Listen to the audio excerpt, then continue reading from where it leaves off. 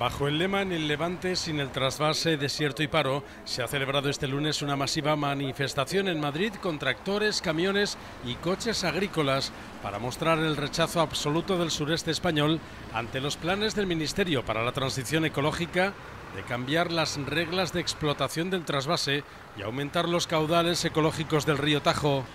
La protesta ha sido secundada por regantes de Alicante, Murcia y Almería que ven cómo el gobierno de España está recortando caudal del trasvase, lo que hace peligrar el futuro de sus cosechas. Los agricultores alicantinos han circulado con sus tractores este lunes por el centro de la capital de España, por las principales vías de Madrid, para reclamar al gobierno que no recorte el agua que viene del trasvase Tajo Segura hasta la provincia de Alicante. Reprochan al Consell su falta de implicación y le piden a Chimo Puig más contundencia con la defensa de los intereses de los regantes alicantinos.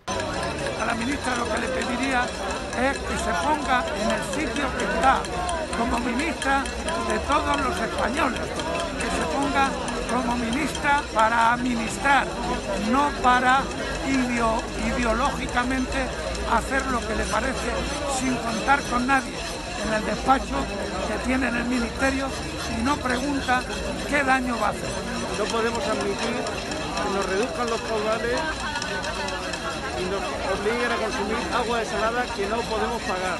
La caravana de vehículos ha recorrido las principales vías de la capital de España, pasando por el Paseo de la Castellana hasta la sede del Ministerio para la Transición Ecológica y el Reto Demográfico, donde una cosechadora ha regalado patatas a los asistentes y viandantes. Los agricultores en esta zona es una amplia mayoría que damos mucho trabajo y damos comida a toda Europa y es un elemento vital para la agricultura. Sin el agua no podemos vivir. Quedarnos sin trabajo porque el agua de, que quieren de desalinizadoras, eso no, aparte del coste, es inviable porque es mala, es carísima y, y no podemos más. Los agricultores estamos ya hundidos en la miseria. Todos son pagos impuestos y no llegamos. Desde Asaja, Alicante, consideran que el presidente de la Generalitat Valenciana, Chimo Puig, ha abandonado a los regantes y lamentan que haya tirado la toalla con el tema del trasvase y el recorte del caudal anunciado por el Ministerio, que afecta a más de 100.000 familias de forma directa.